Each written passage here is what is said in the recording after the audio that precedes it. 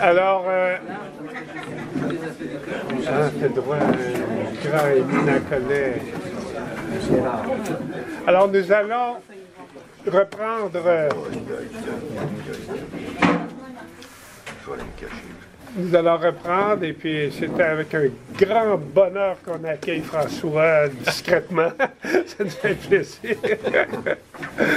Euh, et puis, euh, pour entamer cette deuxième partie, et puis aussi bonjour à Hélène, que j'ai pas encore salué. Ça fait plaisir de vous voir tout le monde.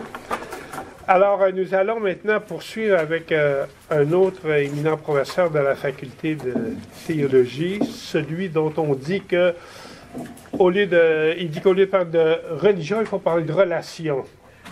Cité par euh, Pierre René, c'est lui ça, Yves Guéret. Alors Yves, euh, grande joie que tu as accepté de venir et j'avoue, j'avoue que j'ai J'étais très dévoué à la cause pour le convaincre de venir parce qu'il en avait beaucoup, mais en même temps, il m'a dit Bon, ben, je peux pas m'empêcher d'y aller parce qu'il s'agit d'un thème important, puis de Marie l'Incarnation. Puis, euh, Alors, merci d'avoir accepté d'être avec nous et Et nous sommes que- sus- Oui. nous allons nous sustenter à tes mamelles. Oui, oui. Bon, tu risques d'être un petit peu déçu. Alors j'ai dit À oui parce que j'ai dit oui parce que je peux pas dire non à, à Raymond non plus. Hein, ça, ça fait partie. Ah oui. Alors écoutez, euh, c'est une, une participation plus que humble cet après-midi. Hein, euh, ramassée euh, dans des heures bien remplies et tassées. Donc euh, très très humble, d'autant plus qu'après avoir entendu mes deux précédents collègues, euh, je me suis dit, ben là, moi, je suis dans des lieux euh, qui ont déjà été explorés. Donc, euh, il y aura des redites.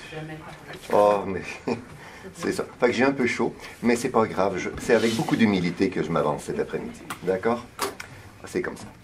Alors, trois parties, dont euh, ben, une petite introduction sur un thème que, que déjà Thérèse a, a ouvert avec beaucoup de maîtrise, amour humain et amour de Dieu, même élan. Alors, une toute petite introduction là-dessus. Un, un petit temps plus, plus ouvert sur une sacramentalité ecclésiale fondée dans l'association à la kénose du Christ. Ce sera peut-être euh, un peu plus long. Et une toute tr- très brève conclusion sur une spiritualité eucharistique. Alors, on est, on est dans les mêmes eaux, hein, mais c'est- vraiment un- une esquisse. hein, on le frôle, on, on plus. Voilà. Alors, c'est très, très simple et très humble, mais je vous le propose malgré tout. Ne pouvant pas me défiler. Alors, on sait parce qu'on l'a dit à quelques reprises déjà.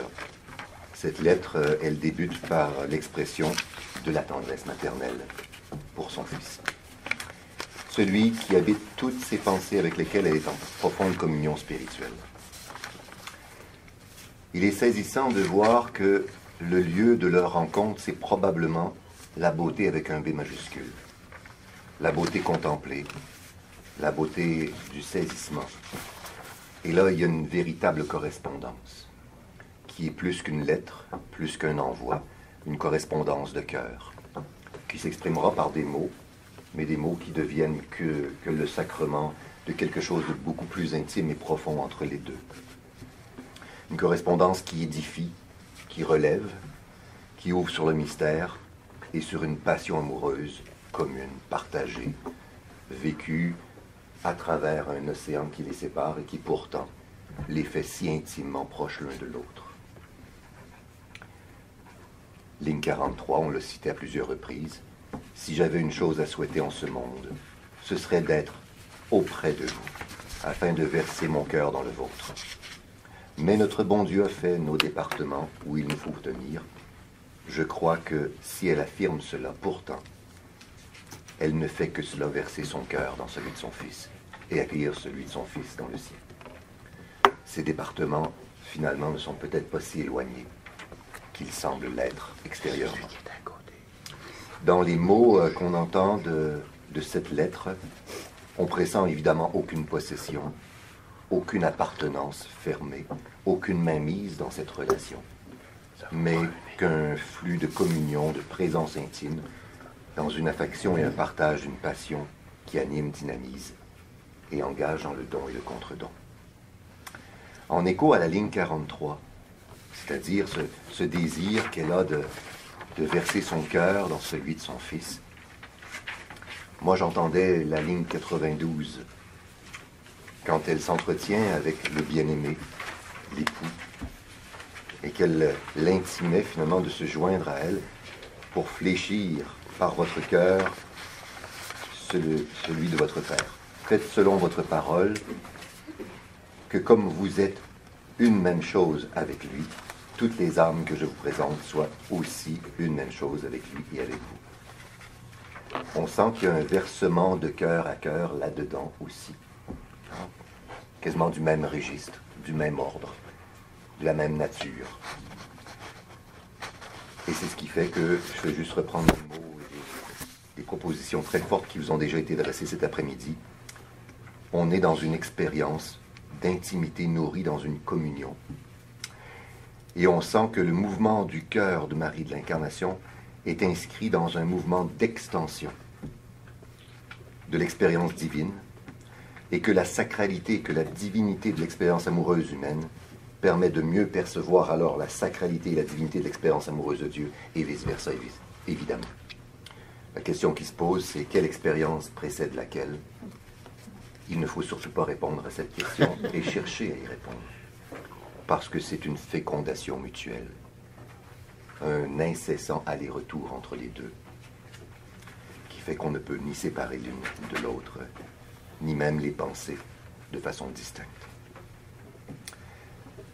En travaillant ces quelques mots de Marie de l'Incarnation, moi j'entendais en écho, et c'est pas difficile du tout avec Marie de l'Incarnation, les mots de Paul aux Philippiens, qui exposent évidemment, là comme à bien d'autres endroits, le mystère de l'amour du Christ dans sa descension vers toute l'humanité et son ascension vers elle pour que toute l'humanité en Christ retourne vers le Père.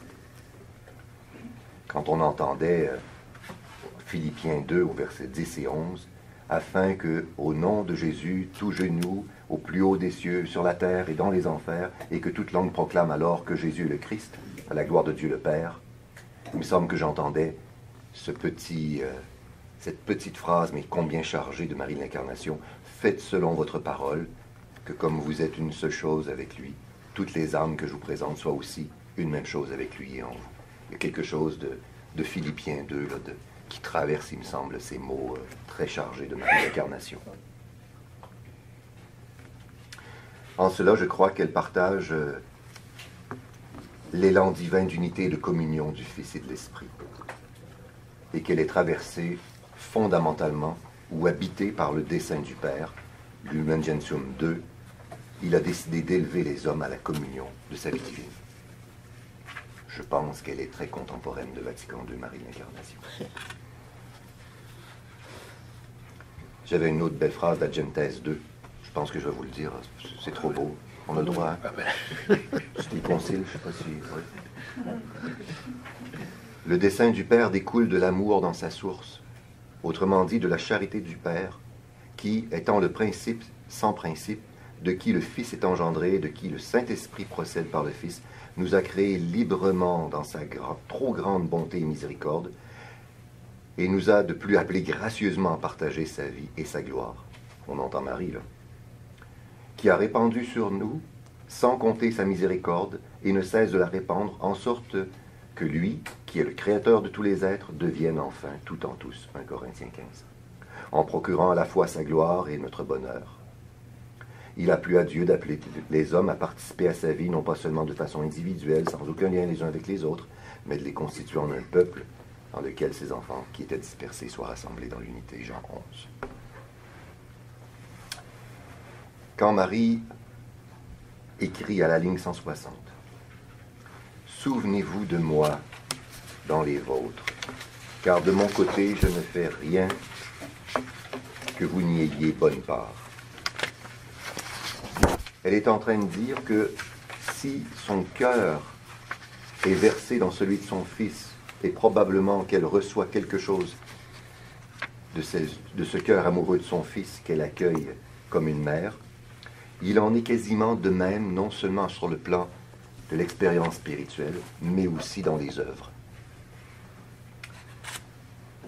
Comme si finalement on était pour euh, oser reprendre quelques mots de Teilhard, parce que c'est une œuvre plus grande que grande, on était devant une messe sur le monde, vécue dans une chair illuminée d'une action de grâce qui au final n'est pas la sienne, mais une action de grâce qu'elle accueille, qu'elle reprend et qu'elle prolonge, le flux amoureux de la, de la relation trinitaire en elle. Et alors, on pourrait reprendre les mots de Saint Paul aux Philippiens, qui continuent en disant Ainsi, je vous en conjure, par tout ce qu'il peut y avoir d'appel pressant dans le Christ, de persuasion dans l'amour, de communion dans l'esprit, de tendresse compatissante. Les mots sont forts, mais on vient de les entendre dans la lettre. Mettez le comble à ma joie par l'accord de vos sentiments. Ayez le même amour, une seule âme, un seul sentiment, et n'accordez rien à l'esprit de parti, rien à la vaine gloire, mais que chacun par l'humilité estime les autres supérieurs à soi. Ne cherchez pas chacun votre propre intérêt, mais plutôt que chacun songe à ceux des autres. Cœur à cœur divin. De sorte que quand Marie écrit à la ligne 125, je n'ai point d'autre pratique sinon en la, en la baissant, oui, de m'offrir pour esclave à cette divine mère, parce qu'elle parle de la Vierge Marie évidemment. Le mot esclave, évidemment, dans le monde qui est le nôtre, peut toujours susciter un peu d'étonnement. Et pourtant, toujours aux Philippiens, Saint Paul va nous dire, ayez entre vous les mêmes sentiments qui sont dans le Christ Jésus. Lui, de condition divine, ne retint pas jalousement le rang qu'il légalait à Dieu, mais il s'est anéanti lui-même, prenant la condition, vous vous souvenez. Eh oui. Et Marie reprend ça, avec euh, la candeur et la grandeur d'un cœur amoureux. Elle parle comme Saint Paul. Alors il n'est pas nécessaire évidemment de rappeler que l'esclavage n'est pas porteur d'une connotation péjorative, évidemment, mais qu'il évoque probablement plutôt l'expérience d'une bienheureuse soumission à un maître doux et humble de cœur, d'un lâcher-prise de sa propre volonté pour faire la volonté de son maître, d'un amour pour la mère de ce maître, puisqu'elle l'a porté en son sein et que son expérience de soumission, celle de Marie, éveille possiblement la nôtre aussi. Et devenant semblable aux hommes, il s'est comporté comme un homme. Il s'humilia plus encore, obéissant jusqu'à la mort. Et la mort sur une croix, et ça continue. À la ligne 52, quand elle dit Un soir que j'étais dans notre cellule traitant avec le Père éternel de la conversion des âmes, et souhaitant avec un ardent désir que le royaume de Jésus-Christ fût accompli. Je crois qu'elle est, j'ai mon interprétation très, humble, qu'elle est profondément inscrite dans le mouvement d'Akénos du Christ, vidée d'elle-même. Elle est quand même l'une des bâtisseuses de l'Église d'ici, fondatrice. Elle aurait pu poursuivre ses œuvres, poursuivre ses desseins, avoir l'audace de ceux qui commencent et de pouvoir avoir l'espace pour réaliser pleinement leurs aspirations et leurs rêves, avoir le vent et l'élan nécessaire pour aller au bout d'elle-même, de ses intuitions. Il me semble que c'est enivrant, ça, quand on peut bâtir de la sorte. Mais on n'entend rien ici de cela. En tout cas, pas ici, à tout le moins. Mais plutôt, on est devant une femme qui est dans quelque chose qui ressemble au fait de se vider d'elle-même pour ne trouver sa joie que dans une chose, c'est l'accomplissement du royaume de Jésus-Christ. Ce ne sont pas ses œuvres, ce ne sont pas son intérêt. Elle, c'est la volonté d'un autre qui la préoccupe. Pour ne devenir que réception et accueil de cet autre, dans un échange de dons et de contre-dons, de dons qui excentrent de soi-même. Je ne crois pas, d'après ce que j'y lis, que Marie construise une église ecclésiocentrée, préoccupée d'elle-même, une église angoissée en raison de sa fragilité, de son membership qui diminue parfois, ou encore des aléas de son édification. Si elle porte et pense au désir de la conversion des âmes, ce n'est que pour une seule chose, c'est pour que le royaume puisse advenir de plus en plus pleinement.